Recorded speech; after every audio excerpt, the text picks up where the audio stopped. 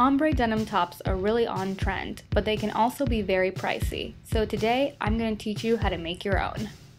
So here's what you'll need. One pack of RIT Color Remover. You can find this at your local grocery store or a craft store, but I would suggest looking at Walmart because it's around $2 less. One large cooking pot. Keep in mind that the inside cannot have any Teflon or non-stick coating.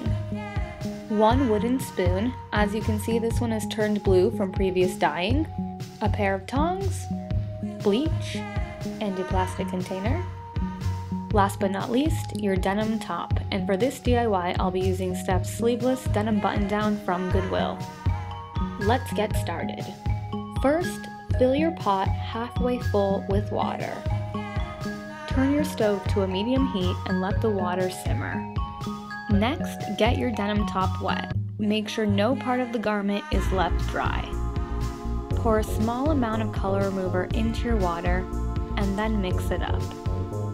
Dip 3 quarters of the shirt into the water and let it sit for about 5 minutes or until you feel the color has faded enough.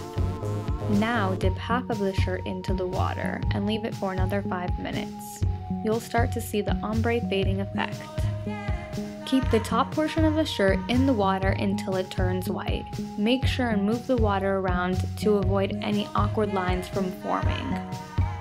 Use your tongs to grab the shirt by the top of the collar and move it to a nearby sink. Use cold water to rinse out your shirt, but be cautious as the shirt could still be hot from the warm water. Dip the top portion of your damp shirt into bleach and let it sit for 3 to 5 minutes or until you feel it's light enough. And now you're done. Throw your shirt in the washer by itself, of course, and you'll be good to go.